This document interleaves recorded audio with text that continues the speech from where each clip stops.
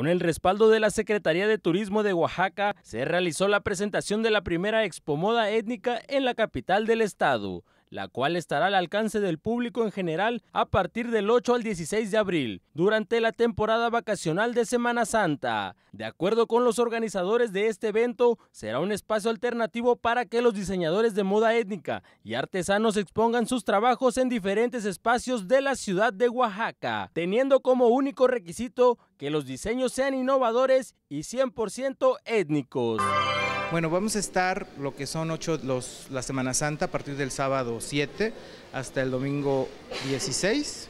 todo lo que es Semana Santa. Y estaremos en un horario de 10 de la mañana a 8 de la noche todo el día, eh, todo, todos los días. Y estamos, pues el motivo de esta expo pues es una que antes que nada es reactivar la, la economía en el Estado, trayendo a estos diseñadores y apoyándolos para que puedan exponer sus diseños, sus creaciones en un lugar digno y donde ellos puedan pues también eh, eh, hacer exhibiciones de moda, algunas conferencias. Eh, pues estamos invitando a todos los a todos los diseñadores de moda étnica que se pongan en contacto con nosotros para que puedan pues pues accesar a este a este evento, ¿no? Tiene un costo de recuperación muy pequeño, estamos con apoyo de la Secretaría de Turismo este, este, estatal, Secretaría de Economía Municipal y con AECO, Alianza em-, Empresarial de Oaxaca.